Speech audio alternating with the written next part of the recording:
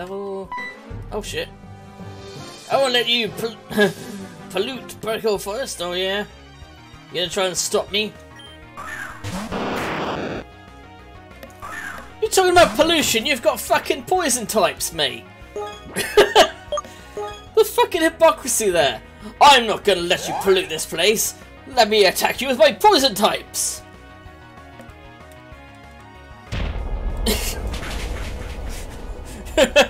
I'm not gonna let you burn down this forest. I'm gonna bring out Charizard. you see what I mean?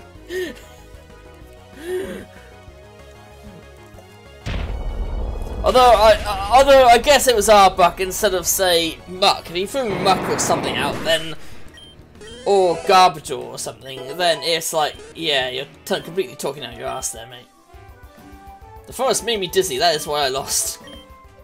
How did I? Never mind. I mean, I just uh, see a Pokemon in the forest. Take care. TM42 facade. Ah, so it's nothing then. Get it? Because of the facade. Uh, anyway. Well, random berries I pretty much do fuck all with.